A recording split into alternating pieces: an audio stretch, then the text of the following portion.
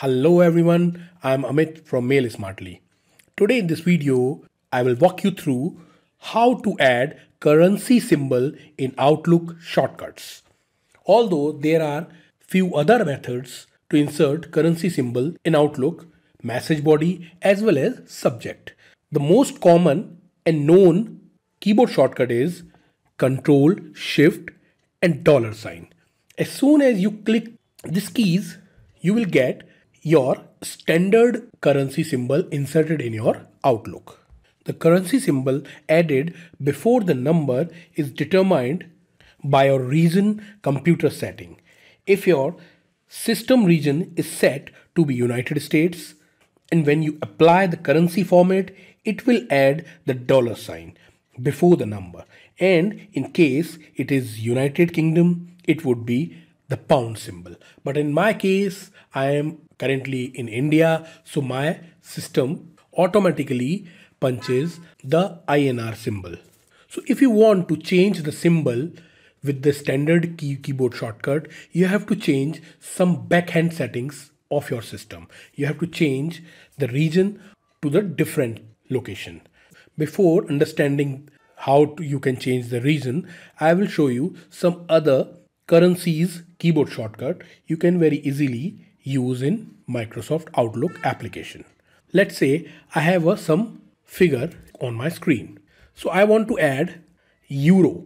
So what I have to do, I have to hold the alt key, then I have to hit 0128 and leave the alt key.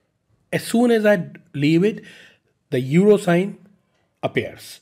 I can also insert the euro sign with another keyboard shortcut which is 20 AC and control X.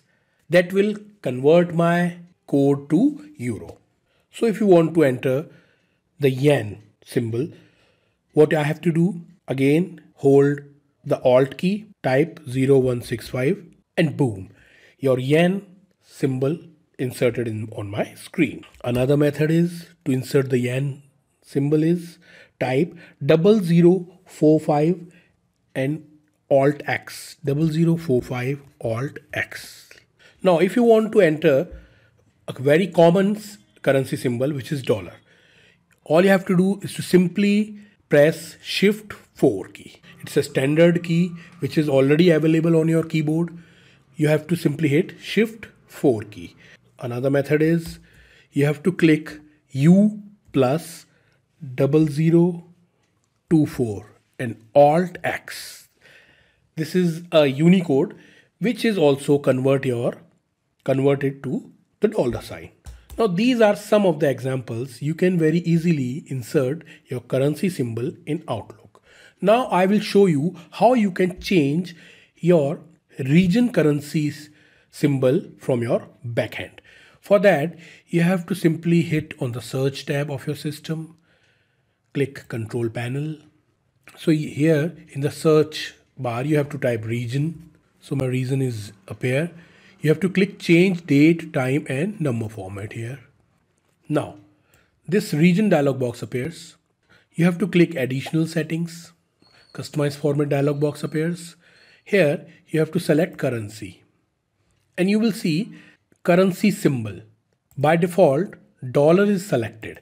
So what I have to do is to click on the drop down list and there are three options available. First is dollar, which is already selected. Second is INR and third is euro. So I select euro. Rest of the options are by default. You don't have to change any of it. Simply hit apply and OK. Again apply, OK close this box. First of all, you have to restart your system that will that your changes will automatically imposed in your system. And when you click shift, control and dollar sign, your change regional change symbol will automatically appears on your system. These are the few keyboard shortcuts to insert your currency symbol in Outlook email.